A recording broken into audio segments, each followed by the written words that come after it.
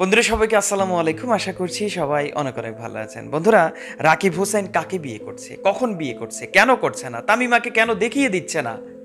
যে রাকিব তামিমার চেয়েও আরও সুন্দরী একটা মেয়েকে বিয়ে করতে পারে, কেন দেখিয়ে দিচ্ছে না? এটা আমরা কিন্তু জিদের ঠেলায় রাকিব হোসেনকে বারবার প্রশ্ন করেছিলাম, কবে সে বিয়ে করবে? তো বন্ধুরা, চলুন রাকিব হোসেন এই প্রশ্নের জবাব দিয়েছেন। তো এই জবাব শোনার পর আরও কিছু প্রশ্ন আপনাদের কাছে আমি করব আশা করব। সেই প্রশ্নের জবাবগুলো আমরা শুনবেন আপনারা শুনবেন এবং কমেন্টস বক্সে অবশ্যই অবশ্যই লিখবেন। তো চলুন আমরা সেই ভিডিওটি দেখে আসি তারপর আমরা আবারও আলোচনায় চলে যাব। এখন বিয়ে করার মতো পরিস্থিতি তো নাই। আপনি দেখেন যে আমার একটা ছোট্ট মেয়ে আছে।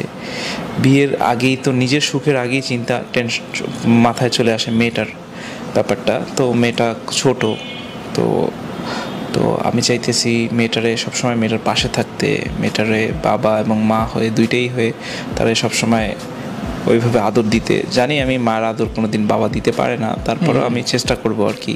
তো বন্ধুরা তামিমার কিছু আচরণে আমরা রেগে গিয়ে তামিম মানে রাকিবকে বারবার বলেছিলাম যে আপনি বিয়ে করেন। আপনি বিয়ে করে তামিমাকে দেখিয়ে দেন আপনিও পারেন। কিন্তু আমি মনে করি রাগটা একটু আমাদের আমাদেরই আসলে কন্ট্রোল করা উচিত। রাকিব যে সিদ্ধান্ত নিয়েছে এই হচ্ছে একটি যুগান্তকারী সিদ্ধান্ত। কারণ এই ছোট্ট মেয়েটির দিকে তাকিয়ে রাকিবকে অবশ্যই অবশ্যই এখন একটু ঠান্ডা মাথায় সিদ্ধান্ত নিতে হবে। না হয় যেই ছোট্ট মেয়েটির জীবনটা নষ্ট করে যে মা তার সুখের জীবন বেছে নিয়েছে, এই মেয়েটা হয়তো বা এই বাবাটার কাছ থেকেই খুঁজে নিবে। চাইবে তার মায়ের আদর, তার বাবার আদর মানে সব কিছুই এখন এই বাবার কাছেই চাইবে। এখন যদি বাবা একটি ভুল সিদ্ধান্ত নেয়, তাহলে আমি মনে করি এই মেয়েটি আর সামনের দিকে মানে কি বলব, পথে বসা ছাড়া তার আর কোনো উপায় থাকবে না। বর্তমানে এই মেয়েটি, ছোট্ট মেয়েটি রাকিব তামিমার ছোট্ট মেয়েটি মাদ্রাসায় পড়াশোনা করছে। নুরানিতে আছে, তারপর হাফেজ হবে। হ্যাভস বিভাগে যাওয়ার চেষ্টা আছে, প্রচেষ্টা রয়েছে। সেই স্বপ্নগুলো আমি মনে করি ধুলিস্বাত হয়ে যাবে। রাকিব যদি এখন এই ধরনের সিদ্ধান্ত নিতে যায় যে আমি বিয়ে করব, তো আসলে একটা পুরুষের একাকিত্বটা অনেক অনেক কষ্টে কাটে।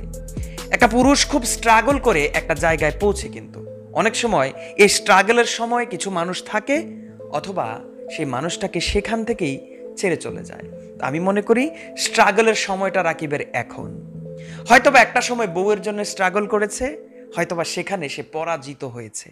আমি মনে করি বর্তমানে বাংলার মানুষ যেভাবে রাকিবের উপরে মানে কি বলব, দোয়া বর্ষণ করছে এই ছোট্ট মেয়েটির দিকে তাকিয়ে, ছোট্ট মেয়েটির ভবিষ্যতের কথা চিন্তা করে আমি মনে করি রাকিব রাকিব একটু ধৈর্য ধরুক এবং ধৈর্য ধরে সেই মেয়েটির, ছোট্ট মেয়েটির জীবনটা ফুলের মতো ফুটিয়ে তোলার চেষ্টা করুক। এটাই রাকিবের কাছ থেকে আমাদের চাওয়া পাওয়া থাকবে।